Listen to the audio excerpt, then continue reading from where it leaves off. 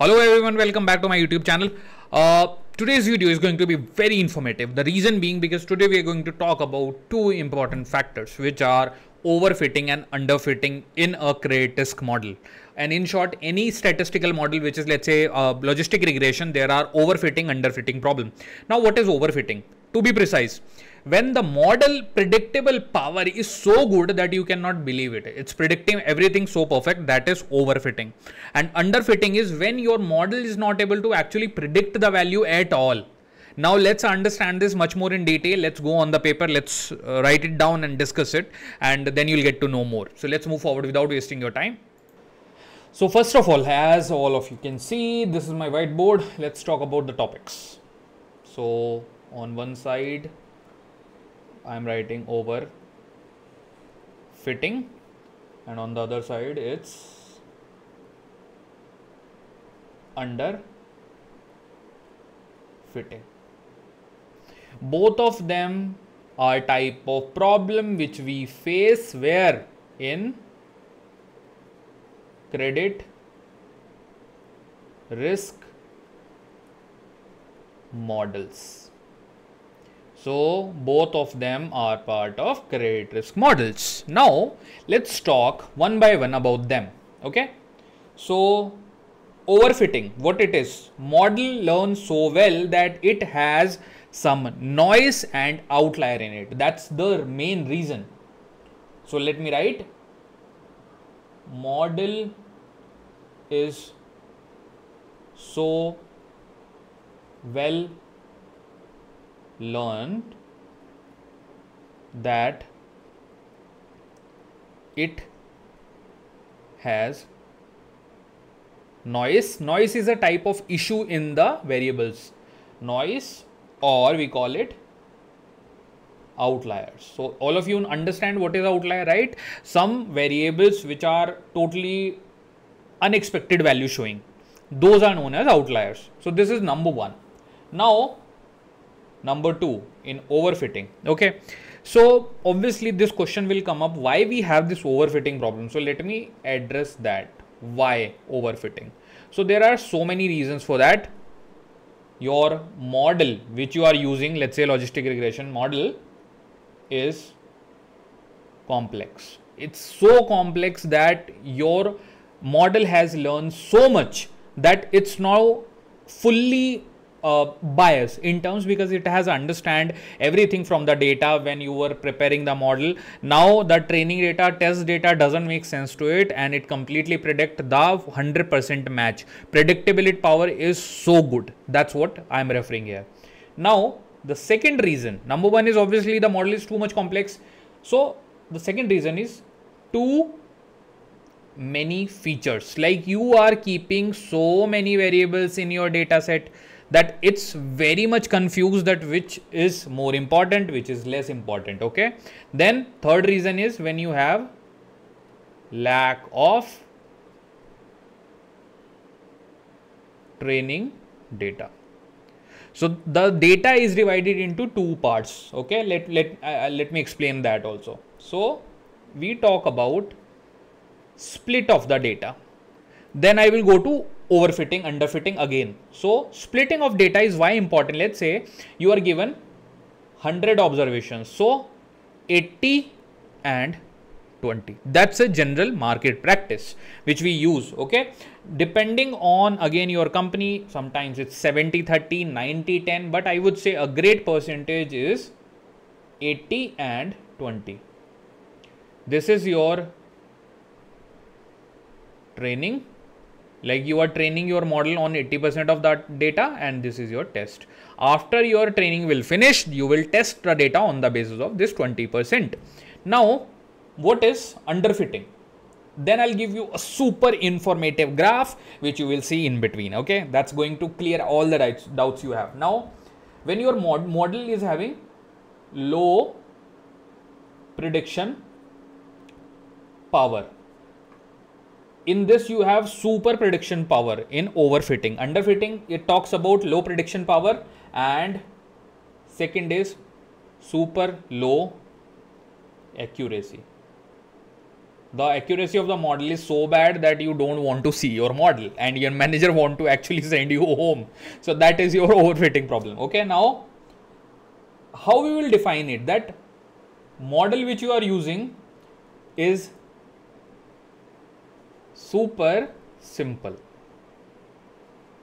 here you are using a complex model here you are using very simple model now we'll talk about why this problem arise Similarly, we spoke about the overfitting. So number one is it's opposite of it. So number one reason model is simple. You are using very simple model. That's why you have to be very careful. Not complex, not simple. Somewhere mediocre model and mediocre doesn't mean you need to balance it manually you have to think through and you have to understand the pattern of the data then you will be able to get the actual model you need to use okay now, what are the other reasons? So this is one reason, okay, for over underfitting. Now, here the reason is many features, here the reason is less features.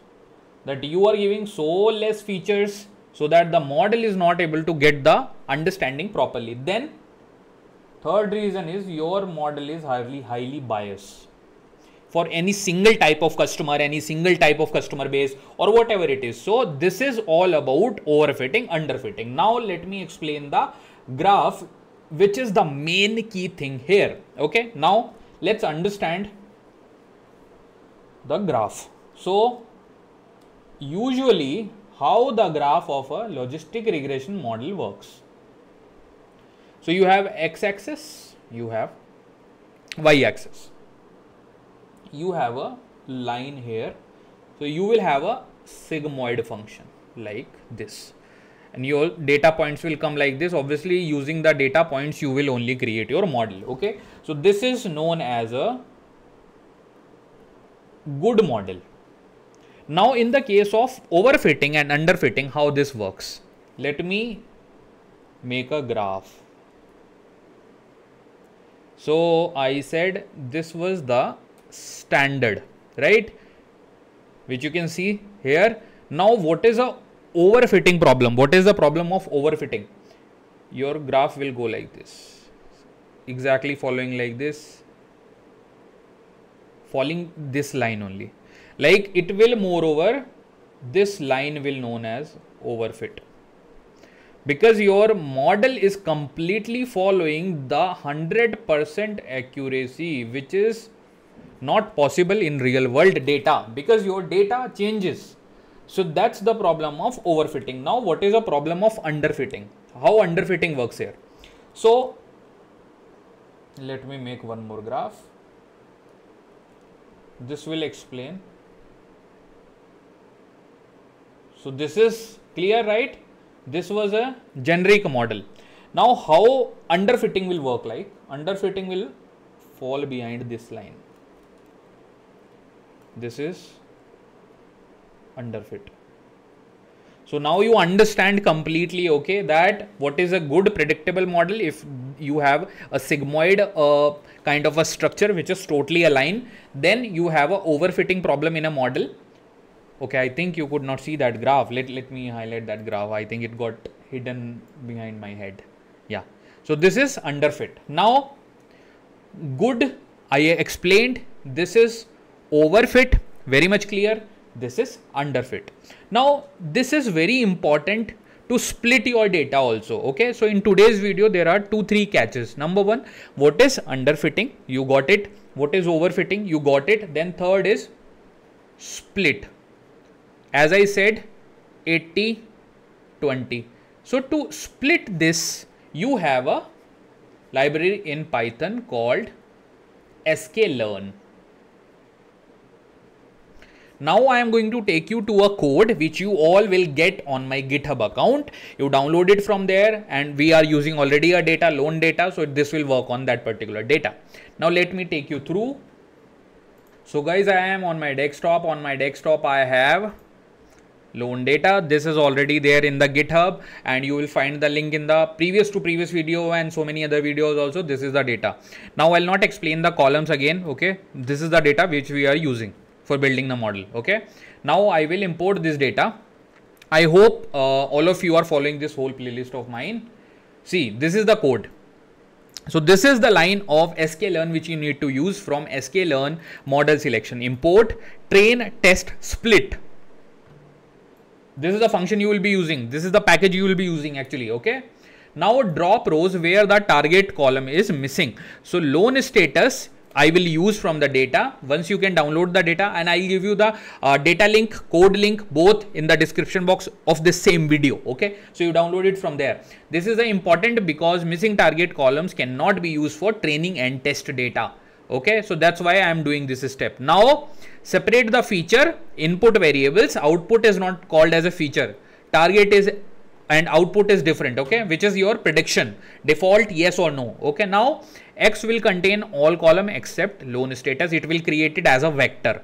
Y will contain only the loan status which is your target. Now so x df is data frame drop this particular column okay? You are dropping this except all the other columns will come in x and y as a predicted value. Now you have two two things one is your vector x which have all the columns y only target column only default flag now split the data into training and test. Test size 0.2 means 20% of the data goes to the test and 80% of the data goes to the training. Okay, very much clear.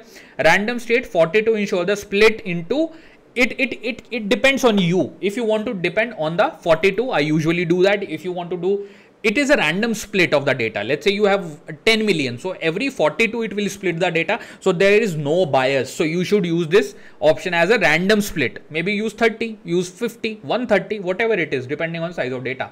Now this is the command. This is your code x train y uh, x test x training data then test data. Similarly y training y test equal to you are using the function split and this is your equation this one which i'm highlighting at the moment. Train test split x and y. X you are passing as a vector of all inputs then y is your output. Test size 20 random split 42 very much clear? And this will show you the shape of the data. Once you split the data into features it will give you that okay? Now if you uh, pass the the path of your file let's say you put it on your desktop pa pass the path create the data frame and run this code. So you will be able to get it okay now on that note, I will wrap up this video. If you want to uh, get this code, I already said you can download it from GitHub. If you have any doubt, any question, concern around the data and this code, just keep me posted. I am 110% going to reply to your comment. On that note, if you like my content, please make sure you subscribe to my YouTube channel. Please watch my videos end to end completely. I try to put as much as uh, value I can and please share this content with your family friends and your colleagues who want to learn all this predictive modeling stuff in credit risk. So thank you everybody. All the best